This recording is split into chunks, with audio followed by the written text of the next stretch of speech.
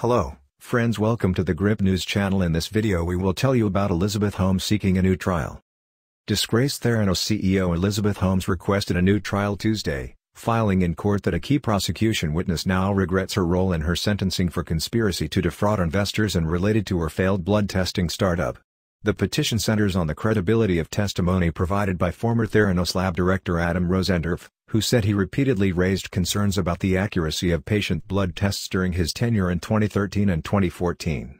Prosecutors presented Rosendorff's testimony before a jury during their closing arguments, which convicted Holmes on four felony counts of investor fraud and conspiracy earlier this year after a nearly four-month trial. The same jury acquitted Holmes on charges of fraud and conspiracy against Theranos blood test patients. Rosendorff reached via LinkedIn, said he did not comment, adding, Don't contact me. Holmes, 38, is currently free on bail but faces up to 20 years in prison at a sentencing hearing scheduled for October 17 in San Jose, California. His lawyers argued in the 17-page filing that Rosendorff is now doubting his testimony based on recent actions described in court documents.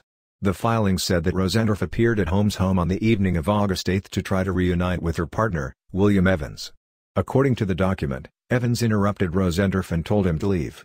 Before leaving, according to the filing, Rosendorff told Evans that during his trial testimony he tried to answer questions honestly but prosecutors tried to make everyone look bad and now felt that he did something wrong. Did.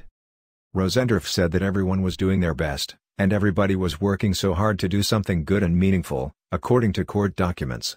Before arriving at Holmes' residence, the documents say, Rosendorff left a 30-second voicemail for one of his attorneys requesting a face-to-face -face meeting with Holmes because he felt it would be difficult for the two of them.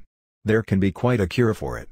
Holmes' lawyers said in their filing that they were unable to ask Rosendorff for more information about his reflections on his trial testimony for ethical reasons. Lawyers had proposed an October 3 hearing to discuss why they believe Rosendorff's recent actions deserve a new trial. Also on Tuesday, U.S. District Judge Edward Davila formally denied a request to overturn the jury's decision in the Holmes trial. Davila's decision cited Rosendorff's testimony in support of his decision. If you like the video, please hit the thumbs up and subscribe to our channel so don't miss the upcoming videos. Thanks all.